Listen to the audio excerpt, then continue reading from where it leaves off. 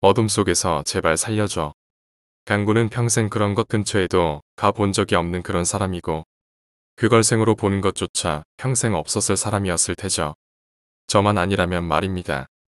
이렇게 해서 강구는 저를 만나 구함을 받았고 방금 처음 봤는데 막말 날리고 가끔 약간의 욕 비슷한 소리를 했어도 아무 상관 없었던 건 저야말로 강군에게는 구세주 이상의 존재였던 거죠. 생각해보세요. 그 순간 자신을 구하러 달려온 영웅처럼 보이지 않겠어요? 지금 지 눈에는 제가 집안 큰형님보다 위대하게 보일 거려. 나중에 후구조사하다 알았는데 삼형제 중 막내더군요. 농담 아니고 진담이고 그날 이후로 절 신봉하게 되었죠. 이 사건 끝나고 제가 부산을 떠날 때까지 절 큰형님 모시듯 했다니까요. 지금은 연락을 제가 끊었어요. 저랑 엮여서 지 인생에서 좋을 건 하나도 없거든요. 얼추 위에서 가져온 소주까지 다 마셨고 새벽 2시 반이 넘어 3시가 되어가고 TV 소리도 웅거리게 들릴 정도로 술이 좀 올랐죠. 강군이랑 대충 이부자리 펴고들 누웠습니다. 혹이나 해서 창문이랑 문은 꽁꽁 잠그고요. 둘이 그렇게 들어 누웠는데 잠이 시 오지 않더군요. 너 내일 어떻게 할래? 옥탑방에서 잘 수 있겠어? 그러자 강군이 말했죠. 제가 거기서 잘 수 있을 것 같습니까? 당연히 친구놈 찾아가야죠. 아니면 본가라도 가야겠습니다. 그래서 제가 말했죠. 그래, 그렇겠지. 하면 하루 이틀이지. 자취방 비워둘 거야? 그러자 강군이 물었죠. 글쎄요. 형님 뭔 방법이 없겠습니까? 방법 좀좀 가르쳐 주이소. 다시는 그런 거 못 보겠습니다. 그래서 제가 답했습니다. 그러면 며칠간 친구 데리고 오너라. 사람이 많으면 모존 있게. 그러고 시장에 들러서 소금 한 포대기 사오고 시장에 가면 몇 킬로 던 거 포대기로 파는 게 있어. 김장 담글 때 쓰는 해염이라고 붉은 소금이라고 하면 알아서 줄 거다. 쓸데없는 이야기 그만하고 자자. 내일 학교 갈 거 아니까. 만난 지 두 시간째 안 되는 사내 놈들의 대화. 다음날 날이 훤히 밝았는데도 녀석이 삐질삐질 하기에 옥탑방까지 따라가서 녀석이 준비하는 거 거들어줬고 녀석이 학교 가고 난 다음 제 방에서 혼자 계속 생각에 잠겼죠. 저의 분신이나 마찬가지인 노트북을 켜놓고 곰곰이 정리해 봅니다. 전 급성 건망증까지 있어서 바로 앞전에 생각한 걸 도저히 기억해내지 못하는 몹쓸병입니다. 그래서 인생살이 조금 더 편해보고자 해서 얻은 지혜가 무조건 메모하는 습관입니다. 꿈도 해야 할 일도 무조건 메모하는 겁니다. 전 온갖 추잡한 병은 다 가지고 있는 쓸모없는 놈입니다.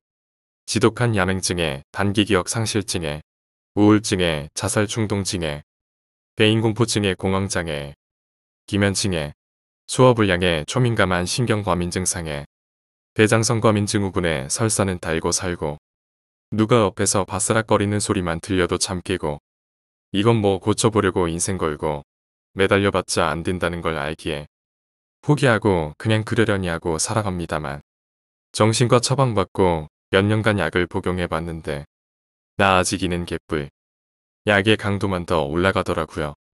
그래서 포기했죠.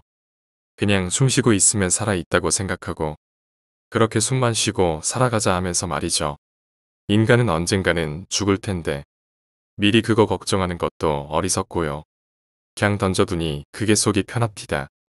여튼 메모 습관하고 필기하는 습관 때문에 늘 노트북을 끼고 삽니다. 그래서 사소한 것부터 큰 스트레스 받는 것까지 꼼꼼히 기록하는 게 습관화되어 있습니다. 강군이 학교 가고 난 다음부터 혼자 곰곰이 생각해봤죠. 그게 저를 따라온 것은 분명한데 어떤 이유가 있을 거라고 말이죠.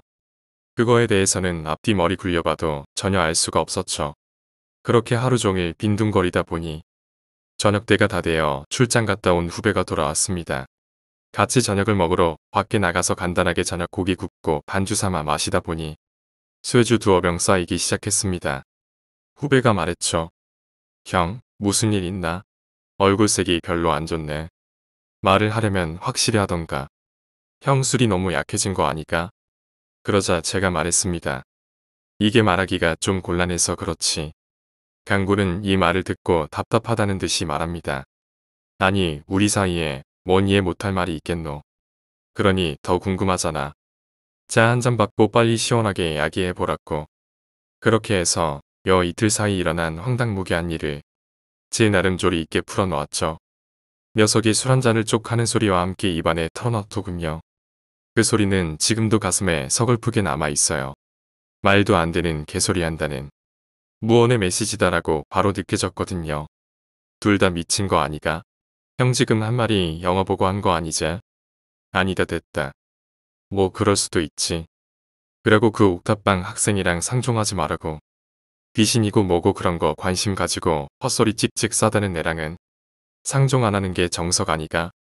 소주나 한잔 하소. 더는 이 친구와는 그런 쪽 이야기는 해서는 안 될 것 같다는 느낌이 팍 들더군요.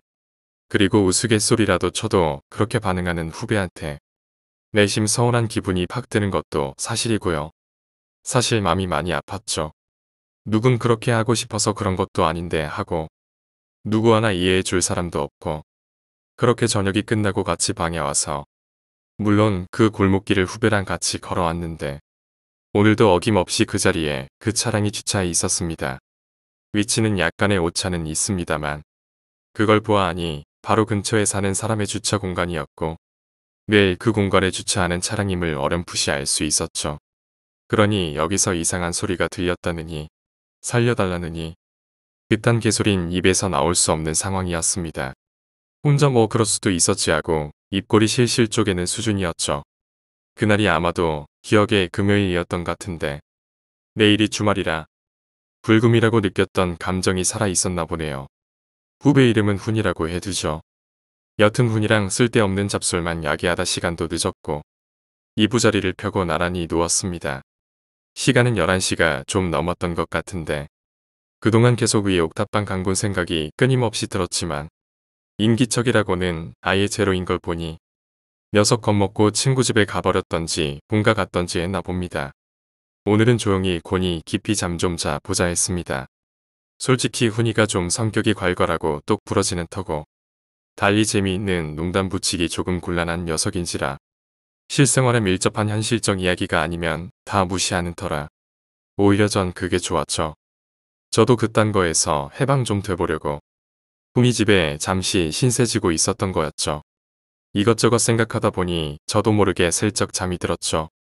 몇 시간이 흘렀는지도 몰랐고 단지 느낌에 뭔가 어깨를 툭툭 치는 느낌과 또 가슴이 조금 답답하다고 느낀 느낌과 또 굉장히 짜증이 나는 기분과 여러 복합적인 느낌 때문에 살짝 정신이 들었는데 다음 편에 이야기가 계속됩니다. 오늘 이야기는 여기까지입니다. 오늘 이야기가 재미있으셨다면 구독과 좋아요, 댓글 부탁드립니다. 댓글은 저에게 큰 힘이 됩니다. 감사합니다.